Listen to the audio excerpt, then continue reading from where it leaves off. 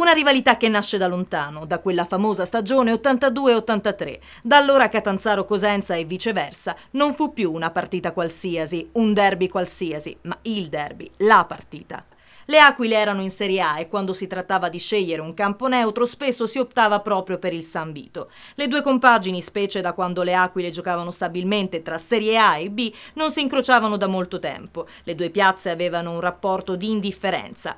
Il 20 marzo 83 in programma c'era Catanzaro Cagliari, il match fu disputato proprio a Cosenza. Per le Aquile quella fu l'ultima stagione nella massima serie. A quella gara i giallorossi si presentarono ultimi e parecchio staccati dalla zona salvezza. Al termine del campionato mancavano sei giornate e con una vittoria l'US poteva ancora sperare nell'aritmetica.